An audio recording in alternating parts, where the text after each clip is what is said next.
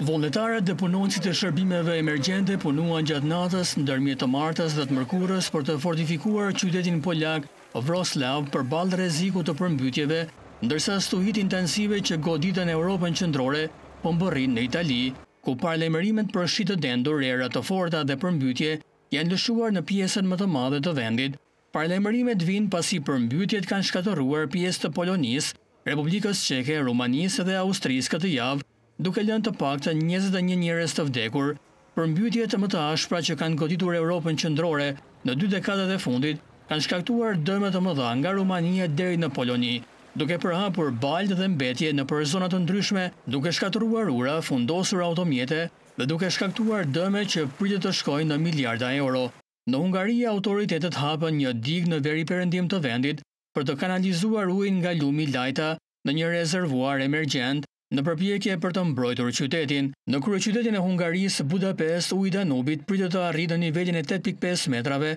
apo ta kapërcejë atë.